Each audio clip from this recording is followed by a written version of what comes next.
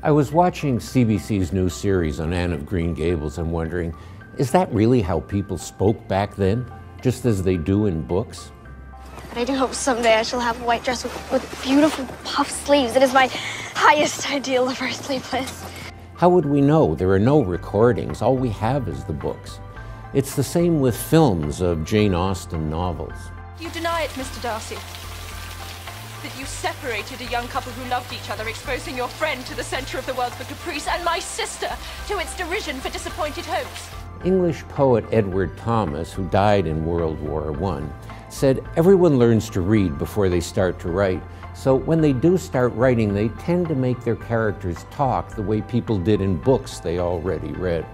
No one can really be esteemed accomplished unless she has a thorough knowledge of music, singing, dancing, and the modern languages. Thomas also said it's hard enough to speak the way writers write, like those Jane Austen film actors. It's even harder to write the way people actually speak because words on a page omit so much tone, gestures, glances. You can't just transcribe a conversation from real life, it looks flat on the page.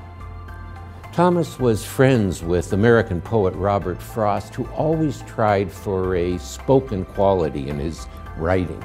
You can almost hear the difficulty when he reads his work aloud. Something there is that doesn't love a wall. It isn't exactly speech, and it isn't exactly literature. It's more like an uneasy compromise between oral and written, which is pretty much the history of human culture. For the Toronto Star, I'm Rick Salutin.